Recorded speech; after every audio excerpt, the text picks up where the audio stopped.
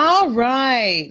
So, since I have an audience, I'm going to go ahead and get started so that we can get through this so you know what to buy or, you know, some other options to buy besides Honda and Toyotas. We know that Honda and Toyota sell because people know they're reliable. But since we all know that, then when you go to the auction, everyone is trying to buy those and the price is high and the bids are up and it's so hard to make a good profit with them. So I'm doing this video to give you an idea of some other options, some other vehicles you can buy that you can buy low and sell high that still have a great track record and that have a lot of profit. So this is um, what I found in my own business and in working with students. So this is real data in the Atlanta market. I'm not sure how it will translate in your market, but human nature tells me that it'll probably be similar in your market. So you can take this information freely and use it as you will for your own profit. Let me go ahead and get this started. I use the slides to keep me focused and to keep me moving forward so I can give you all the information that I have for you and not get lost in the details, okay? So while the slideshow is starting, I am going to check to make sure that everyone knows we are live. Let's see. Uh, did I send? Um, okay. All right. So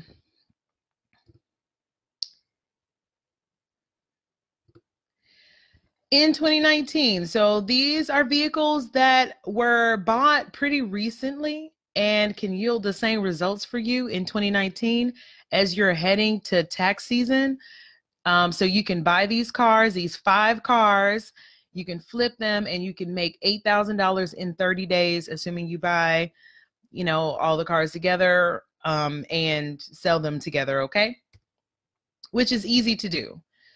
So today's training, I am doing this to help you to avoid wasting time and money on cars no one wants. Okay. So I'm giving you some more options to buy. Know what cars to buy to make the most money the quickest.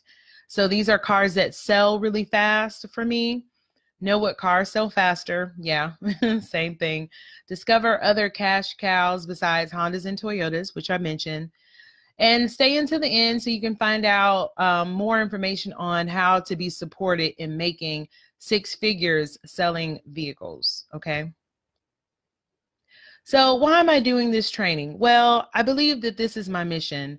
I feel that I have a mission to help people to be successful and profitable entrepreneurs and to help them to build generational wealth for their family. Okay. So, this is part of me living out my purpose. I'm doing this just for you to create wealth selling cars. I want to remove the mystery of making money selling cars. I want to give you as much free information as I can. I want to be your shortcut to success. I've already made the mistakes. I've already had some success.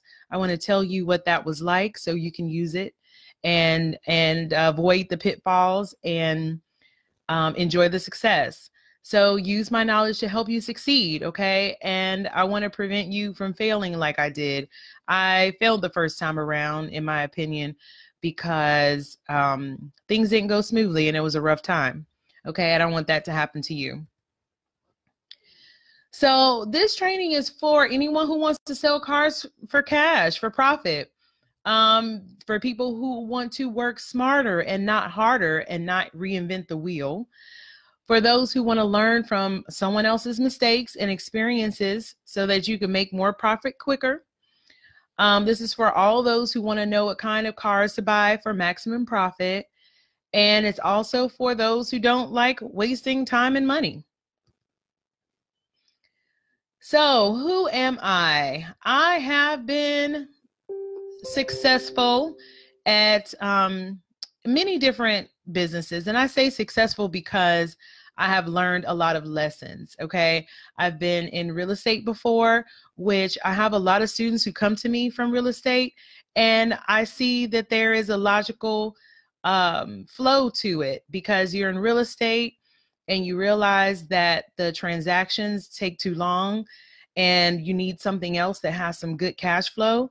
So you're thinking about the car business. Same, that was my same mindset, my same um, way of thinking. So you're on the right track to cash flow, constant cash flow. I made a lot of money my first year in the auto business. Um, but it was really rough. It was stressful. I worked all the time. It was unpredictable. So there was no way to really manage my expenses because it was so unpredictable. Um, and then in two years, but I, I figured it out. I asked myself some questions about the business to kind of organize it and figure out a strategy. And then in two years, moved us from our small office to a big storefront. But in three years, our business crumbled, and I believe it was just the stress of the um, the learning curve. Like the learning curve is rough, and I think it got to uh, both of us, and it was just hard to recover. And so um, now that I've recovered, I see exactly what to do and what not to do. And that's what I pass on to you. So, this is from the humble beginnings of my very first auto dealership. And we had the small office, which is in the upper left hand corner. And then we moved to a bigger storefront. As you can see, we had um, a nice little entryway and we had our information print on the door. It was really a great feeling to progress in our business. So I want you to feel that feeling too. I want you to feel the feeling of growth and scaling your business to, um, you know, from the beginning to something bigger. All right, so enough about that, enough reminiscing. And um, all of that. I want to get into five cars you can flip for $8,000 in 30 days. Now, again, this is actually actual car sales in the Atlanta, Georgia used car market. And I have to issue a disclaimer. I'm not claiming you are going to earn any money. Any earnings or income statements or earnings or income examples are only estimates of what we think you could earn. There is no assurance you'll do as well. If you rely upon our figures, you must accept the risk of not doing as well if you don't, okay? Disclaimer.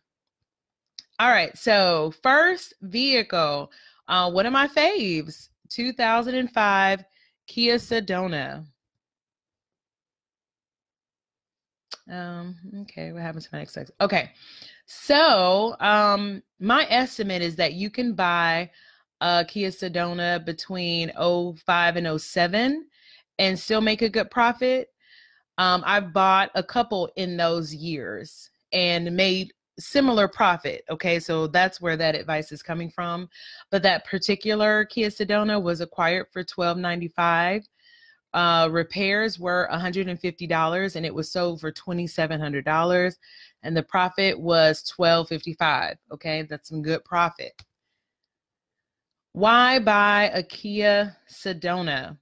Well, they are pretty reliable. Um, they have few issues and um, and defects in their mechanics or in their engineering, and um, people tend to really like them. They can accommodate a family, and for those who like minivans and want minivans, this is a great minivan to buy. I've had very few problems with them. The only problems that I've seen consistent with this model or with the Kia Sedona uh, is the suspension, like the um so yeah, you just want to watch out for that. You want to make sure that you can test drive them, okay?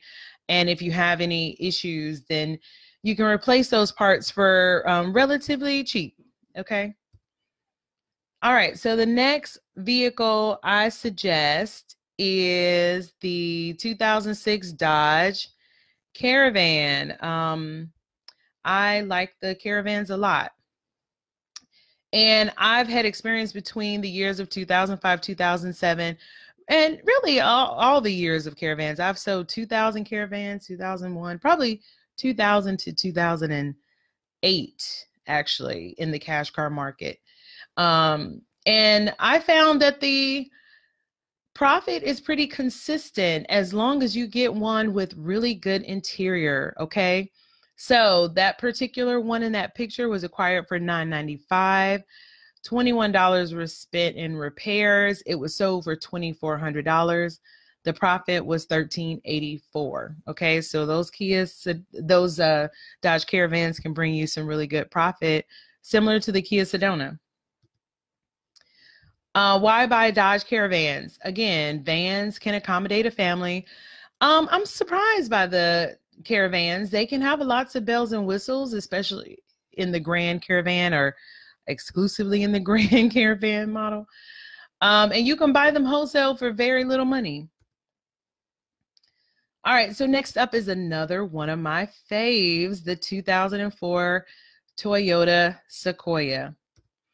Now, with this one, and when I was getting ready to share the details about this, I see why people don't want to disclose free information because I hesitated to share this one because I like these so much. And I was thinking, oh, well, if I share, then I'll there will be fewer for me to purchase. But that is thinking that there is lack. Instead, I think that there is abundance. So there's going to be plenty of used Toyota Sequoias for me to buy and for you to buy. We can share and still get lots of profit. So, um, but this is one of my favorites, okay? And I have bought them exclusively exclusively in like the 2003, 2004, sometimes a 2005 Toyota Sequoia. I can get for similar numbers, but that particular one was acquired for $2,925. $35 were spent in repairs and it was sold for $52.50. Now, I know that that is outside of the cash car market um, in general, but the Toyota Sequoia cash car market is different from the general cash car market. The the people, the customers who are in the market to buy that Toyota Sequoia usually have more cash on hand. So you can go retail to $5,000 and make profit of, you know, a good profit. Uh, this particular one, um, the profit was $2,290. So that was a great um, payday. Plus, they are really fun to drive. They have lots of power. I really do enjoy the Toyota Sequoia. So, why buy a Toyota Sequoia besides the fact that I am gushing over it because I enjoy them so much? But they can accommodate a family. They have a lot of room. Um, they can fit uh, seven, I want to say seven or eight. I can't remember right now, but um, comfortably, very comfortably. They're one of the um, bigger third row uh, um, SUVs. Okay. So, and it's also for all your customers who want a nice SUV. Um, and they have lots of bells and whistles. Uh, the limited edition, okay. Um, I like those better as bigger tires. Uh, most likely, the interior is leather, and there are some other features that are really great about the Toyota Sequoia. Okay, so have fun buying and selling you some Toyota Sequoias. All right, next up is the 2004 Mazda 6. Now, um, that particular one was an 04, as I mentioned, but I've sold 03 to 05 for around the same numbers. So if you notice that there's a pattern here, um, the used car market is not specific to the year. So, like profit is not specific to the year of car. There are a range of years that can be uh, bring you similar profit.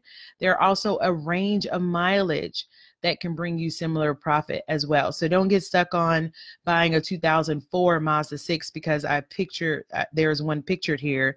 There are a range, and I would say that range is probably even bigger than what I've listed here, um, 03 to 05.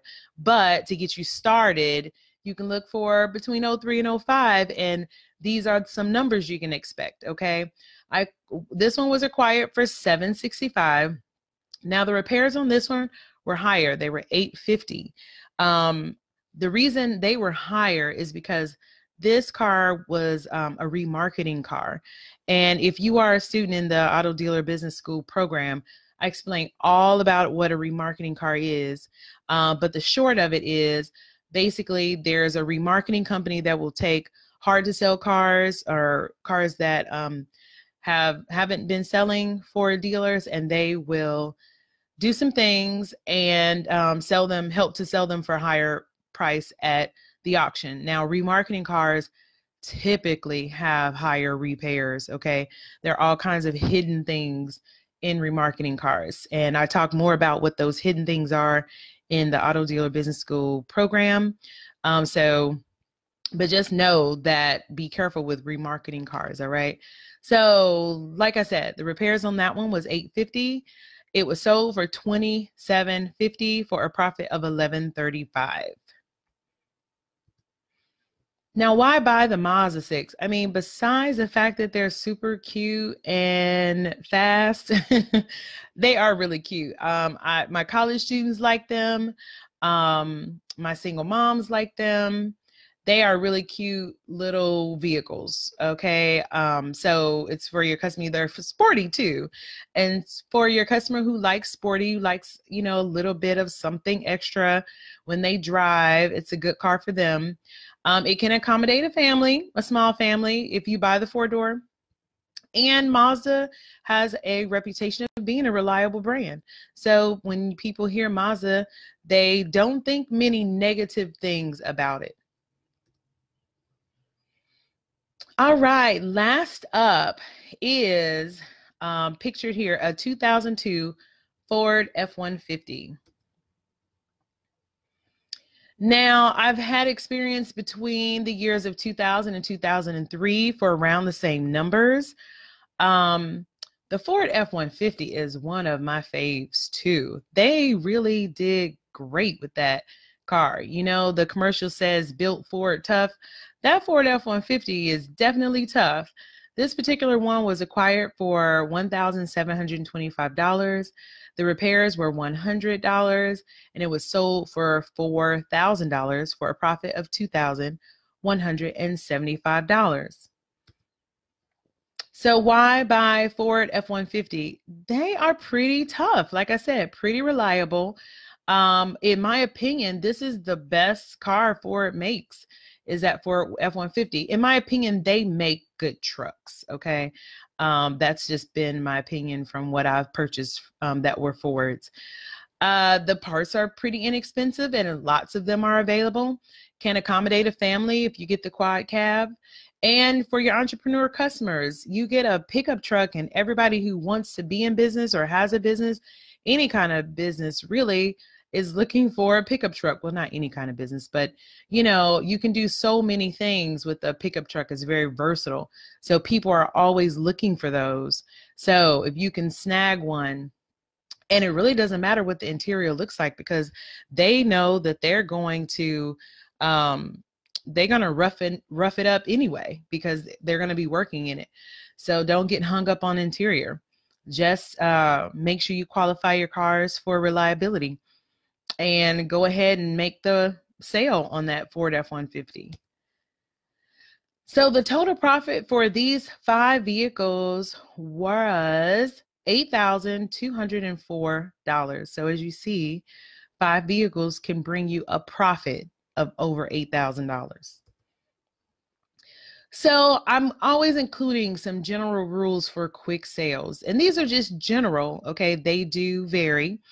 But in general, I buy six cylinder vehicles. Um, eight and four cylinder vehicles are hard to sell unless they're specifically requested. Eight vehicles because of the gas consumption, four or eight cylinder vehicles because of the gas consumption, and four cylinder vehicles because it doesn't have a whole lot of power. Four cylinders don't give you a whole lot of power, and people tend to like to feel the car move when they hit the gas. Okay in general, buy four doors. You're going to sell to many more people because a single person will buy four doors. A person with a family will buy four doors, but a person with a family will hesitate to buy two doors. Okay. Always buy a nice color. Uh, that is important. Color matters. Uh, if you buy a strange color or a unique color, that car has to bring a unique customer. So it'll take longer to find that customer. So keep that in mind. Try to buy the fully loaded version of whatever it is you're looking at, the one with the moonroof, sunroof, uh, automatic this, upgraded, you know, sound, um, etc. Buy as close to 100,000 miles you, as you can get, but this is a used car market. They understand they're getting high mileage vehicles. Um, so, you know, try to stay in a what is a reasonable, considered range, a reasonable, a, which can be considered a reasonably reliable range of miles, uh, which has been my opinion to be between 100,000 and 150 ish thousand. Okay uh, depending on the vehicle also. All right, but that's these are just general rules. So buy with fewest imperfections as possible, unless you plan on doing body work. Um, people don't tend to like cars that have a whole lot of little dents and bad paint. You know, they want to look nice. They want to feel good. Uh, they know they can't buy a brand new car. They're not buying a brand new car, but they still want it to look nice and to be something they're proud of buying. So try to buy something for them that looks nice. All right. Um, no older than 16 years. So you get into your 1990 somethings, it's going to be a little harder to sell those. Um, stay under retail price of 3000 to 4000 for quick cash sales unless your market for that vehicle has more money. Like mar- the market for pickup trucks usually has more cash on hand, especially if they're in business. Also, your market for Toyota Sequoias tend to have more cash on hand, okay? So, these are just some general rules for quick sales.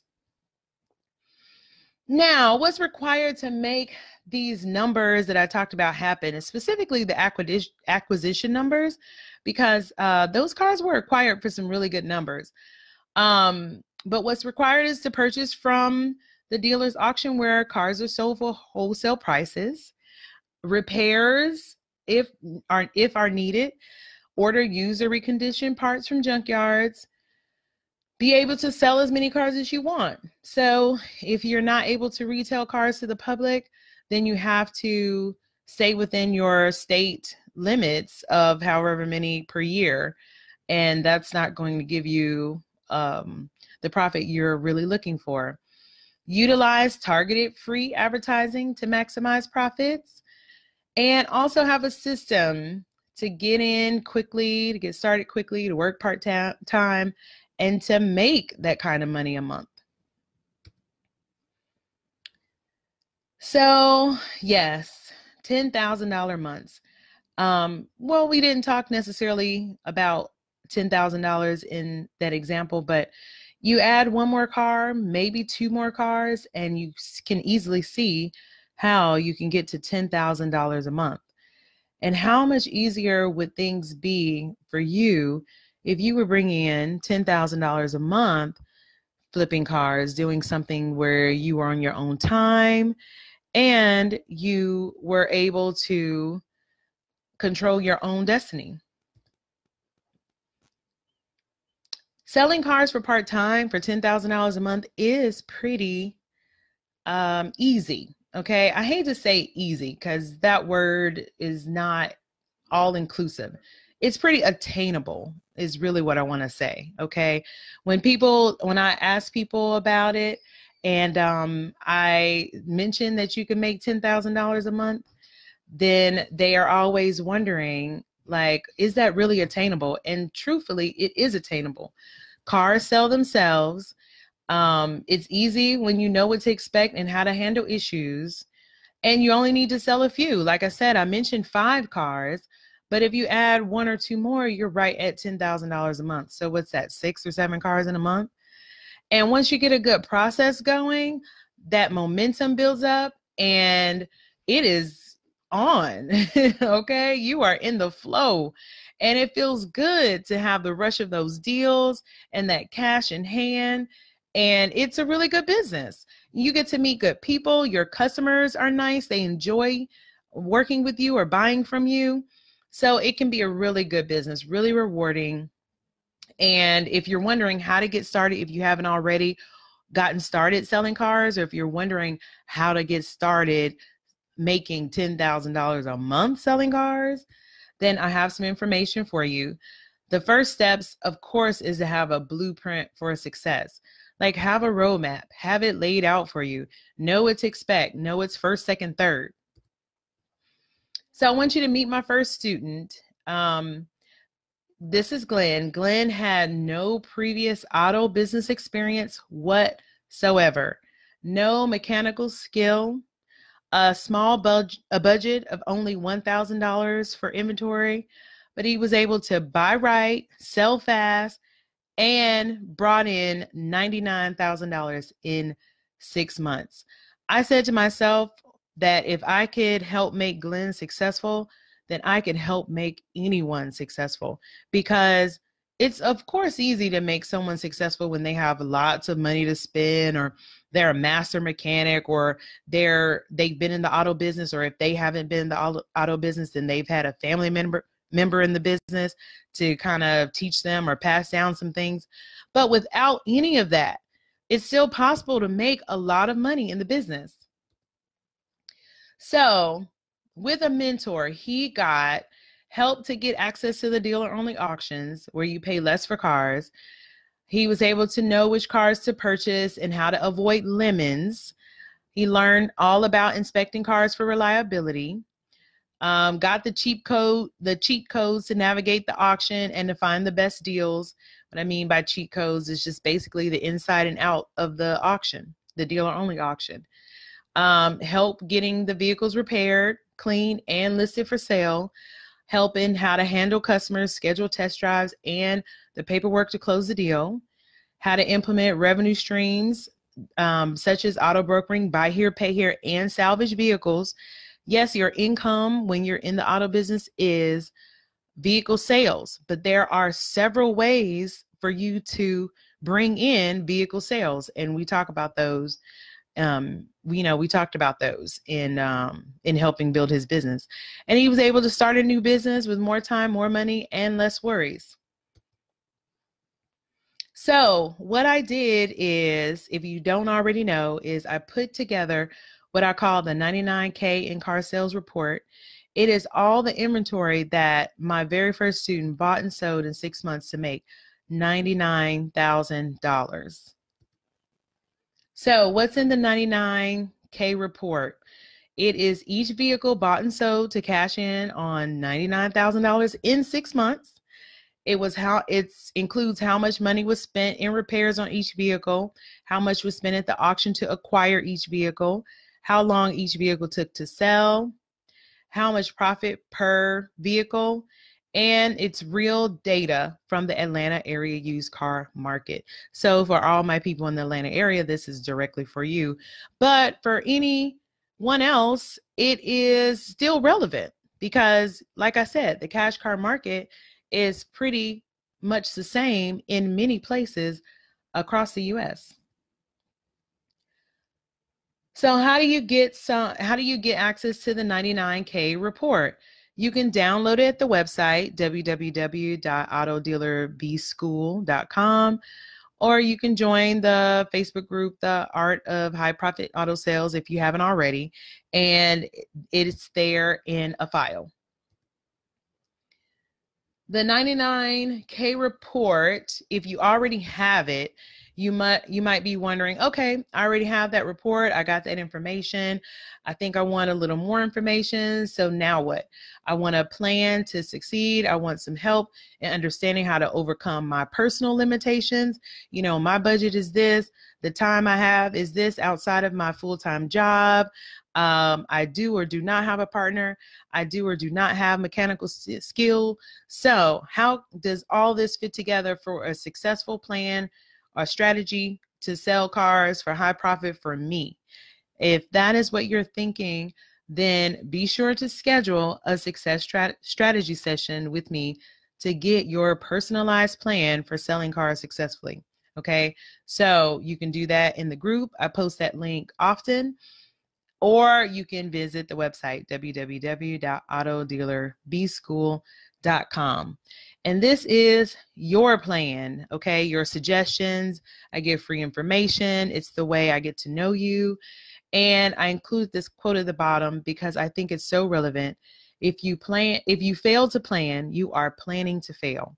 So get your success strategy plan in place now and book a strategy session.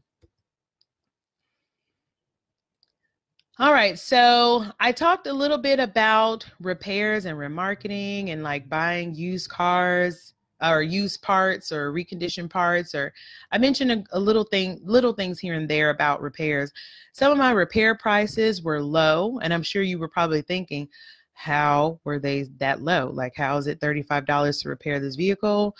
Um, what was done? Um, you know, how were you able to get it fixed for $35, etc. Well, know what to do about repairs. All right. So I have some ethical dealer shortcuts that save you profits. Okay. I have tried a lot of different things in this business. And um, this particular information put together for you, I call auto dealer mechanics and it is the shortcuts to repairing vehicles. Okay. It helps you to save on parts and labor, to have more confidence in the vehicles you sell, and to minimize risk. So I know when you are, if you're already flipping cars or selling cars for money here and there, or already an auto dealer. I know you've gone to the auto parts store and I know you've looked at those different bottles and they claim to do this and they claim to do that. And you're wondering, do I spend the money and the time to see if it works?